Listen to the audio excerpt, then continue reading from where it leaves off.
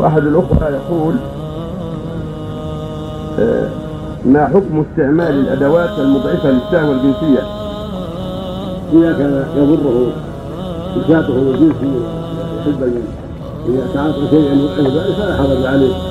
من الحبوب المباحة الشيء الذي يقر الأطباء الموثوقون أنه لا يضره ولكن ويضعف الشهوة إضعافا لا يضره بل يعينه على جهاد نفسه. والبعد عن أسباب الفاحشة ونوصيه بالتزوج عليه يبادر بالزواج ولو بالاستدانة ولو بالاستدانة القلوب ويغفر الله عنه سبحانه وتعالى حتى يسلم من شر شهوته إن شاء الله.